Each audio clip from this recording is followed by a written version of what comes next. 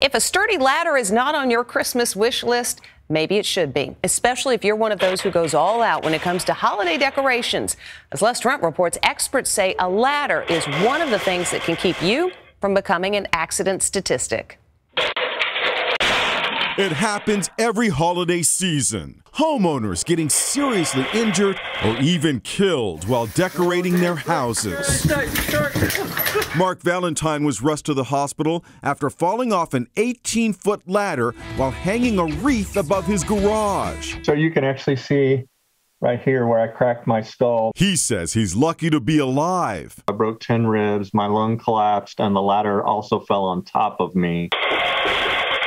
Accidents like this don't have to keep happening, say the experts at Christmas Decor of New Jersey. We've seen all these videos online of people getting on ladders and the ladders falling over. What advice do you have to them? First of all, get a great ladder.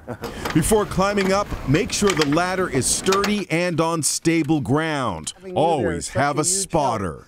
You can see that the ladder doesn't shift as much. And never climb on the roof or reach too far while standing on a ladder. This is where it's going to get hazardous, is if you were reaching out here to go another foot this way or another foot the other way, thinking that you need to get just one more bulb. That's where you're at risk for a fall or to tip the ladder. But decoration dangers are not just lurking outside your home.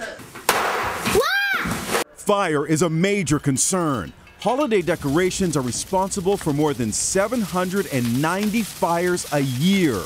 Nassau County, Long Island Fire Safety Chief John Murray says many of those fires are caused by overloaded extension cords and Christmas tree lights that have been improperly stored. How many people wrap these up like this and then they store them in the house for a year?